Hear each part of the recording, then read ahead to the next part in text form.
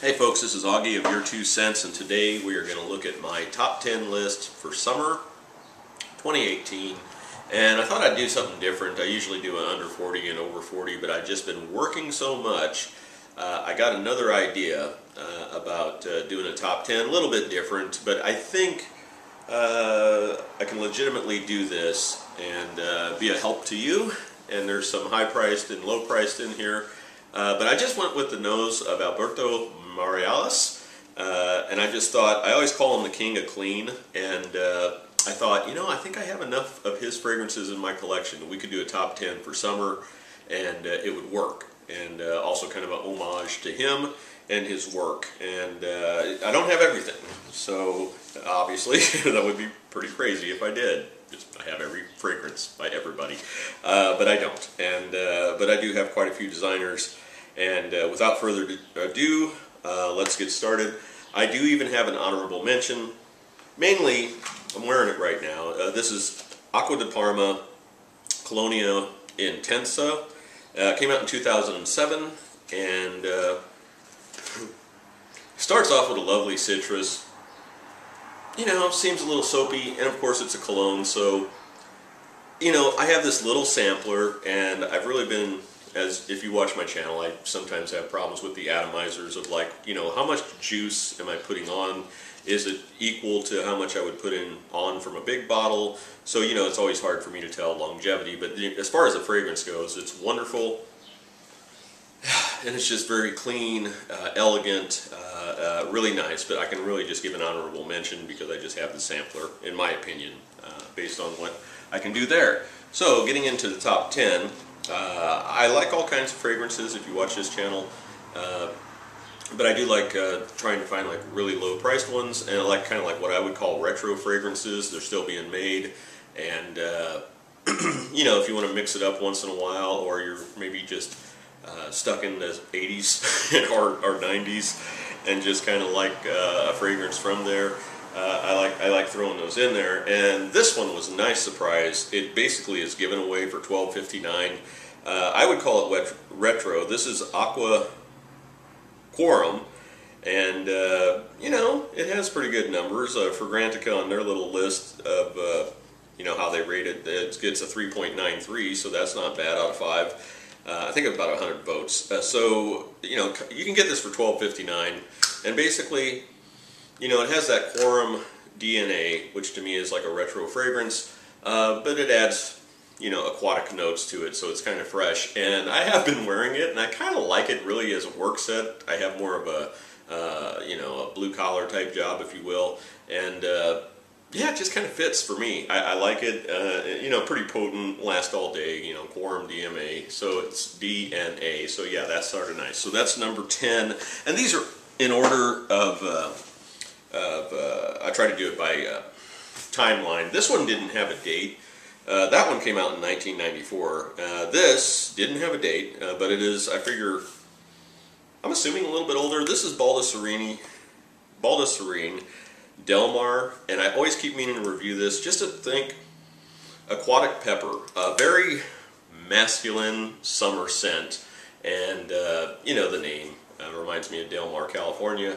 I don't know if there's any connection, but it's a very, like I say, a lot of pepper, and it just woody, uh, dry down to, uh, just really nice. Uh, something different, uh, very masculine, uh, probably maybe a little bit, you could uh, carry it more into the evenings of summer nights.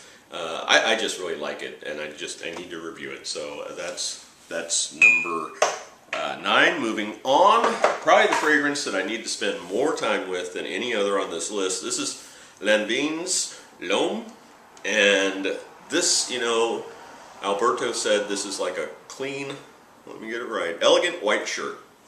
And it very much is that. There's some floral notes in there. It's just, uh, you know, lavender.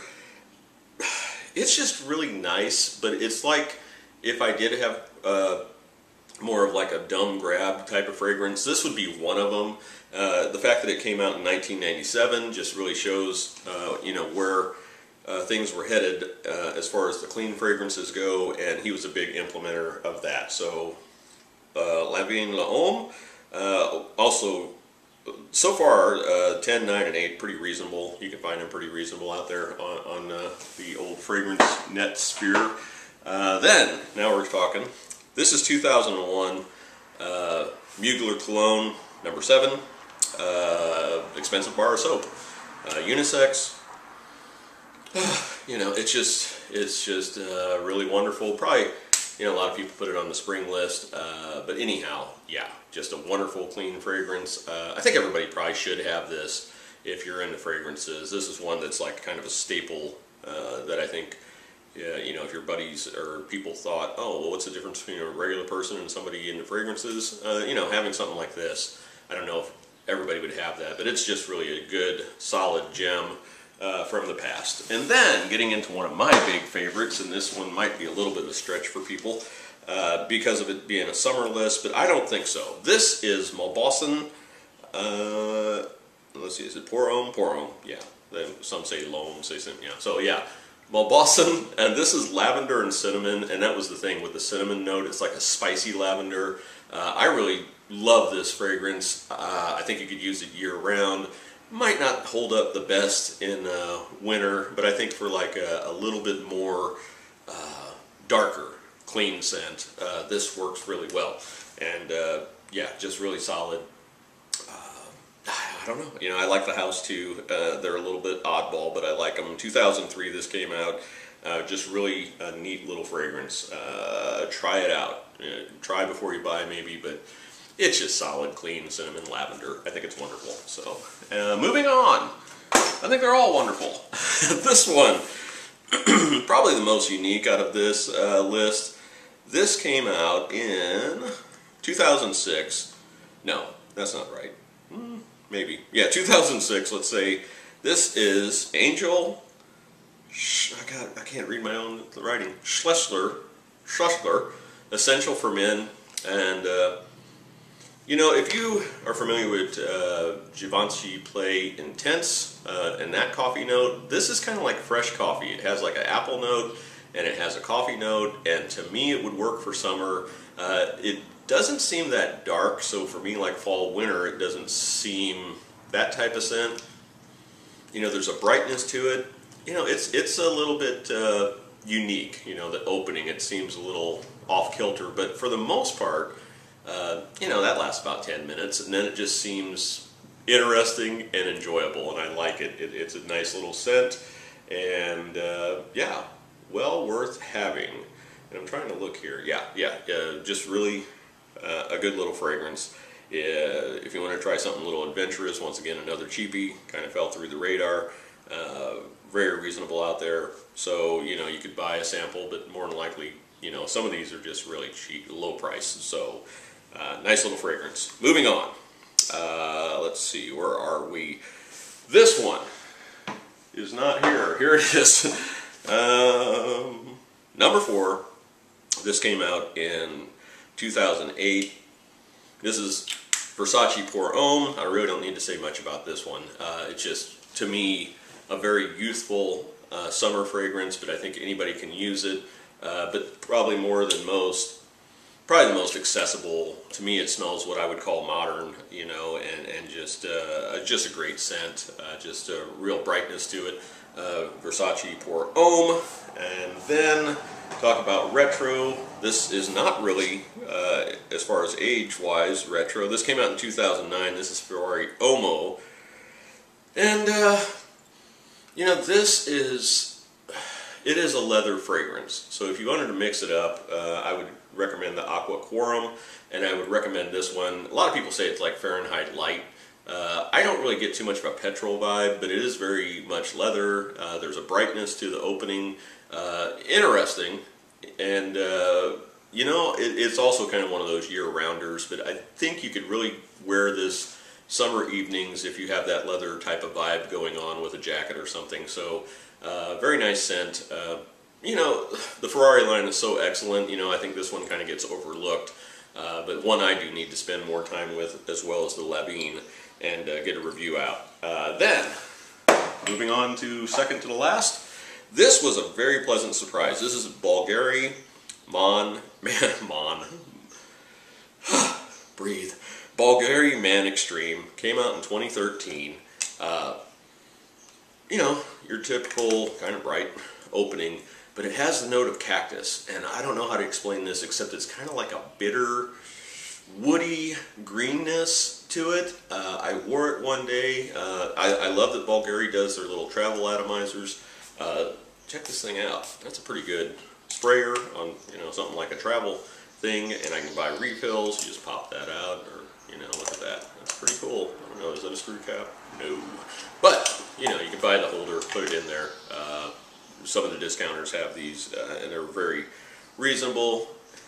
This one has the note of cactus, and it's just, uh, like I say, kind of a bitter, woody sharpness.